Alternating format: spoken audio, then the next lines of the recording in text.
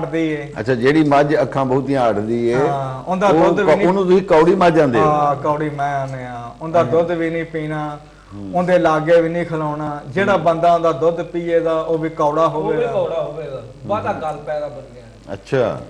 ਜਿਹੜਾ ਮੈਂ ਦਾ ਵਜੂਦ ਲੰਮਾ ਹੋਵੇ ਹੂੰ। ਤੇ ਉਂਗਲੀ ਭਰ ਮੁੱਠ ਹੋਣ ਸਥਾਨ ਹੋਣ ਹੁੰਦੇ ਹੂੰ। ਪੈਰਾਂ ਤੇ ਪੂਛਲ ਪਵੇ। ਹਾਂ ਇਹ ਵੇਖੋ ਨਾ ਇਹ ਗੱਲਾਂ ਤੇ ਜੇ ਰਹਿੰਦੀਆਂ ਨਾ ਵਿੱਚ। ਅੱਛਾ। ਇੱਕ ਪੈਰ ਸੱਜਾ ਤੇ ਇੱਕ ਪੈਰ ਖੱਬਾ ਹੁੰਦਾ ਚਿੱਟਾ ਹੋਵੇ। ਅੱਛਾ। ਵਾਹਨੇ ਦੇ ਫੁੱਲ ਹੋਵੇ। ਆਹਾ। ਚੌਥਾਨੀ ਉਹਦੇ ਪੁਹਾਰੇ ਪੈਣ। ਹੂੰ। ਚੱਕਲੀਦਾਰ ਵਾਹਨਾ ਹੋਵੇ। ਹੂੰ। ਵਾਲ ਉਹਦੇ ਸਾਰੇ ਜਿਸਮ ਦੇ ਹੋਣ ਪਸ਼ਮ ਪੂਰੀ ਹੋਵੇ ਹੀਟ ਹੋਵੇ। ਹੂੰ ਹੂੰ ਹੂੰ। ਉਹ ਮੈਂ ਖਾਨਦਾਨੀ ਹੁੰਦੀ। ਅੱਛਾ। ਹਾਂ ਸਮਝਦਾਰੀ ਹੁੰਦੀ। ਅੱਛਾ ਤੁਹਾਡੀ ਚੰਗੀ ਤੋਂ ਚੰਗੀ ਜਿਹੜੀ ਮੈਂ ਹੈ ਕਿੰਨਾ ਦੁੱਧ ਦਿੰਦੀ ਹੈ? ਜਿਹੜੀ ਚੰਗੀ ਤੋਂ ਚੰਗੀ ਮੈਂ ਉਹ 28 ਲੀਟਰ ਜਿਹੜਾ ਦੁੱਧ ਦੇਣਾ ਦੋ ਚਵਾਈਆਂ ਦਾ? ਇੱਕ ਟਾਈਮ ਦਾ।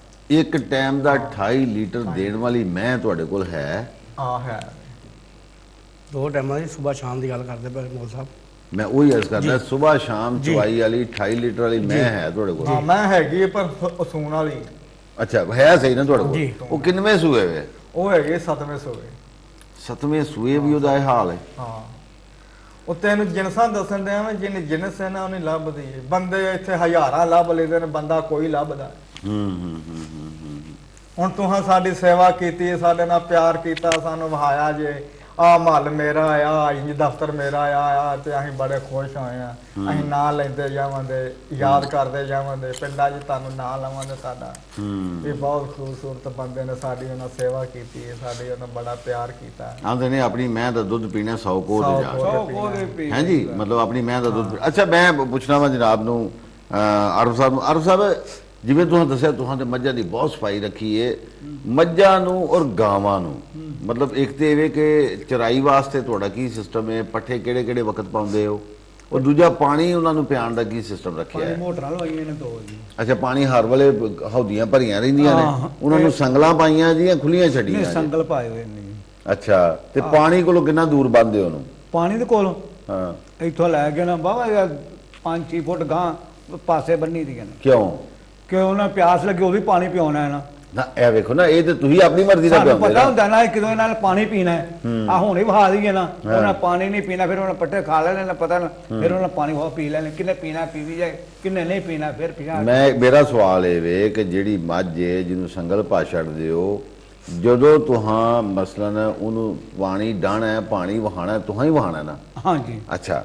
ਮੱਝ ਦਾ ਜੇ ਆਪਣਾ ਦਿਲ ਕਰੇ ਪਾਣੀ ਪੀਣ ਨੂੰ ਫੇਰ? ਪਤਾ ਲੱਗ ਜਾਂਦਾ। ਕਿਵੇਂ? ਉਹ ਮਾਝੀ ਲੈਗੀ ਕੋਲ ਜਾਵਾਂਗੇ ਪਤਾ ਲੱਗੇ ਨਾ ਪਾਣੀ ਪੀਣਾ। ਤੁਸੀਂ ਸਾਰਾ ਦਿਨ 24 ਘੰਟੇ ਮੱਝ ਦੇ ਕੋਲ ਮੱਝ ਡਾ ਕੇ ਬੈਠੇ ਹੋ? ਗੱਲ ਹੈ ਸਾਰਾ ਦਿਨ ਅਸੀਂ ਮੱਝਾਂ ਦੇ ਕੋਲ ਹੀ ਹੁੰਨੇ ਆ ਉਹਨੇ ਕੋਲ ਹੀ ਹੁੰਨੇ ਆ ਮੱਝਾਂ ਦੇ। ਹਾਂ। ਵੀ ਥੱਲੇ ਸਾਡਾ ਮੱਝਾਂ ਦਾ ਵਾੜਾ ਉੱਤੇ ਸਾਡਾ ਰਿਆਜ ਘਰ ਹੈ ਹਾਂ। ਅਸੀਂ ਮੱਝਾਂ ਦੇ ਕੋਲ ਹੀ ਹੁੰਨੇ ਆ ਅੱਛਾ ਚੁਆਈ ਤੋਂ ਕਿੰਨੀ ਦੇਰ ਪਹਿਲਾਂ ਤੁਸੀਂ ਪਾਣੀ ਵਹਾਉਂਦੇ ਹੋ? ਚੁਆਈ ਤੋਂ ਅੱਧਾ ਘੰਟਾ ਪਹਿਲਾਂ। ਅੱਧਾ ਘੰਟਾ ਪਹਿਲਾਂ। ਹਾਂ ਕਿਸੇ ਨੇ ਪੀਣਾ ਹੁੰਦਾ ਕਿਸੇ ਨੇ ਨਹੀਂ ਪੀਣਾ ਹੁੰਦਾ। ਹਾਂ। ਤੇ ਮਤਲਬ ਇਹਦੀ ਖੁਰਾਕ ਕੀ ਕੀ ਤੁਸੀਂ ਇਸਤੇਮਾਲ ਕਰਦੇ ਹੋ? ਚੰਗੀ ਮਹੀਂ ਵਾਸਤੇ। ਪੱਠਾ ਤੂੜੀ ਵੀ ਪਾਈ ਦੀ ਵਾਂਡਾ ਕਿਹੜਾ ਤੁਹਾਨੂੰ ਅੱਗੇ ਨੇ? ਦੱਸਿਆ ਨਾ ਨਹੀਂ ਵਾਂਡਾ ਨਹੀਂ ਹੁਣ ਦੱਸੋ ਨਾ। ਹੁਣ ਦੱਸੋ ਜੀ। ਹੁਣ ਖਾਲ। ਖਾਲ ਕਿੰਨੀ ਪਾਉਂਦੇ ਹੋ? ਖਾਲ ਪਾਈ ਦੀ ਇੱਕ ਬੋਰੀ ਖਾਲ। ਇੱਕ ਬੋਰੀ ਇੱਕ ਵਕਤ ਤੇ ਪਾ ਛੱਡਦੇ ਹੋ ਇੱਕ ਮੱਝ ਦਾ ਕੋਈ ਹਿਸਾਬ ਨਹੀਂ ਤੁਹਾਂ ਬਣਾਇਆ। ਕਿ ਮਸਲਨ ਇਹ ਇੰਨੇ ਕਿਲੋ ਪਾਉਣੀ ਉਹ। ਡੱਬੇ ਹੁੰਦੇ ਨੇ ਜੀ। ਉਹ ਡੱਬੇ ਭਰ ਭਰ ਕੇ ਨਾ 5-6 ਕਿਲੋ ਡੱਬਾ ਹੁੰਦਾ ਤਿੰਨ ਤਿੰਨ ਚਾਰ ਚਾਰ ਸੁੱਟੀ ਜਾਈਦੇ ਨੇ ਕਿੰਨਾ ਕਿੰਨਾ ਉਹਨਾਂ ਖਾਣਾ ਹੁੰਦਾ। ਉਹਨੇ ਸੁੱਟੀ ਜਾਈਦੇ ਨੇ ਕਿਤੇ ਬੱਸ ਕਰਦੇ ਨੇ ਪਿਛਾਂ ਆਪੇ ਚਲੀਆਂ ਜਾਂਦੀਆਂ ਨੇ ਰੱਜ ਲੈਂਦੀਆਂ ਨੇ ਪਿਛਾਂ ਆਪੇ ਚਲੀਆਂ ਜਾਂਦੀਆਂ ਨੇ। ਅੱਛਾ। ਉਹ ਡੱਬੇ ਫੜ ਫੜ ਕੇ ਵਿੱਚ ਪਾ ਪਾ ਸੁੱਟੀ ਜਾਈਦੇ ਨੇ। ਤੇ ਅੱਛਾ ਇਹ ਦੱਸੋ ਮਤਲਬ ਬਾਗ ਤਾਂ ਖੁਰਲੀ ਦੇ ਵਿੱਚ ਲੂਣ ਵੀ ਰੱਖਿਆ ਹੁੰਦਾ ਹੈ। ਆਹ ਉਹ ਵਿੱਚ ਵੰਡ ਚ ਪਾ ਦਈਦਾ। ਹੈ? ਵੰਡ ਦੇ ਵਿੱਚ ਪਾ ਦੇ ਵਣ ਦੇ ਵਿੱਚ ਪਾ ਲਈਦਾ। ਅੱਛਾ ਇਹ ਆਸਫ ਸਾਹਿਬ ਤੁਸੀਂ ਦੱਸੋ ਕਿ ਜਦੋਂ ਅਸੀਂ ਮੱਝਾਂ ਦੀ ਖੁਰਾਕ ਦੇ ਹਵਾਲੇ ਨਾਲ ਧਿਆਨ ਮਾਰੀਏ ਅੱਜ ਕੱਲ ਵੰਡੇ ਬੜੇ ਬੜੇ ਚੰਗੇ ਆਏ ਨੇ ਉਹ ਵੀ ਪਾਉਂਦੇ ਹੋ ਮੱਝ ਨੂੰ? ਬਿਲਕੁਲ। ਹੈ? ਅਸੀਂ ਕਿੰਨਾ ਪਾਉਂਦੇ ਹੋ ਉਹਦਾ ਕੀ ਹਿਸਾਬ ਹੁੰਦਾ? ਹੈ ਅਜੀ ਸਰਕਾਰ ਗੱਲ ਇਹ ਵੇ ਮੁਗਲ ਸਾਹਿਬ ਅਸੀਂ ਇੱਕ ਹੌਦੀ ਬਣਾਈ ਹੈ। ਹੂੰ। ਤਕਰੀਬਨ 5 7 8 ਫੁੱਟ ਦੀ ਹੈਗੀ ਹੈ। ਹੂੰ ਹੂੰ। ਕੋ 2 3 ਫੁੱਟ ਡੂੰਘੀ ਹੈ। ਹੂੰ। ਉਹਦੇ ਕੱਲ ਸੁੱਟ ਦੀ ਹੈ। ਹੂੰ। ਚੌਕਰ ਸੁੱਟ ਦੀ ਹੈ ਬੜੇ ਮੇ ਸੁੱਟ ਦੇ ਨੇ। ਅੱਛਾ।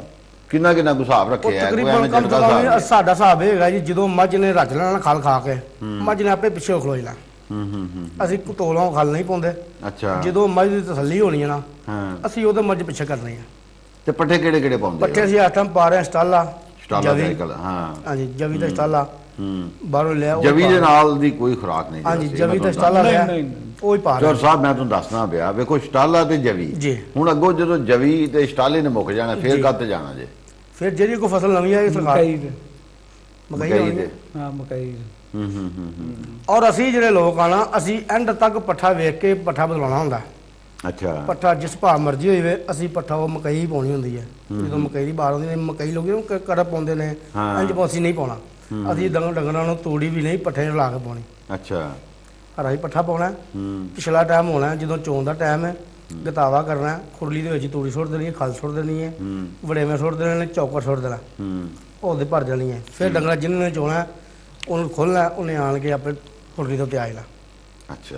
ਉਹਨੇ ਜਦੋਂ ਤਸੱਲਾ ਕਰ ਲੈਣੀ ਹੈ ਹੂੰ। ਚੋਈ ਵੀ ਜਾਣੀ ਹੈ ਤਸੱਲਾ ਵੀ ਹੋਣੀ ਉਹਨੇ ਆਪਣੇ ਆਪ ਖੁਰਲੀ ਤੋਂ ਪਿੱਛੇ ਹਟ ਆਪੇ ਪਿਛਾੜ ਜਾਂਦੀਆਂ ਨੇ। ਆਪੇ ਆਪੇ ਪਿਛਾੜ ਜਾਂਦੀਆਂ ਨੇ। ਪਿਛਾੜ ਜਾਂਦੀਆਂ। ਜੀ ਭੱਲੂ ਸਾਹਿਬ ਅੱਛਾ ਇਹ ਦੱਸੋ ਕਿ ਮੱਝਾਂ ਦੀ ਸਾਂਭ ਸੰਭਾਲ ਦੇ ਹਵਾਲੇ ਨਾਲ ਮੱਝਾਂ ਨੂੰ ਨਵਾਉਣ ਵਾਸਤੇ ਕਿਹੜੇ ਨਾਲ ਕੋ ਸੂਆ ਉਥੇ ਖੜਦੇ ਹੋ ਜਾਂ ਮੱਝਾਂ ਜਿਹੜੀਆਂ ਨੇ ਕੋ ਆਪੇ ਹੀ ਤੁਹਾਂ ਕੋ ਪੈਪ ਲੈ ਕੇ ਧੋਣ ਡਏ ਹੁੰਦੇ ਹੋ ਮੱਝਾਂ ਨੂੰ ਨਵਾਉਣਾ ਧੋਣਾ ਬੜਾ ਜ਼ਰੂਰੀ ਹੈ। ਮੈਂ ਸਮਝਦਾ ਮੱਝ ਜਿਹੜਾ ਨਾ ਜੀ ਪਾਣੀ ਦਾ ਜਾਨਵਰ ਹੈ। ਜੀ। ਪਾਣੀ ਦੇ ਜਿੰਨੇ ਕਰੀਬ ਰਹੇਗਾ ਠੰਡਾ ਰਹੇਗਾ ਪਾਣੀ ਜਿੰਨਾ ਆਪਣੀ ਮਰਜ਼ੀ ਨਾਲ ਪੀਏਗਾ ਉਨਾ ਹੀ ਵੱਧ ਦੁੱਧ ਦੇਗਾ। ਔਰ ਦੂਸਰੀ ਅਹਿਮ ਚੀਜ਼ ਕਿ ਇਹਦੀ ਜਿਹੜੀ ਖੁਰਾਕ ਦਾ ਜਿੰਨਾ ਅਸੀਂ ਖਿਆਲ ਰੱਖਾਂਗੇ ਉਹ ਵੀ ਉਨਾ ਹੀ ਅੱਛਾ ਹੈ। ਗੱਲਬਾਤ ਕਰਦੇ ਹਾਂ ਛੋਟੀ ਜਿਹੀ ਬ੍ਰੇਕ ਤੋਂ ਬਾਅਦ।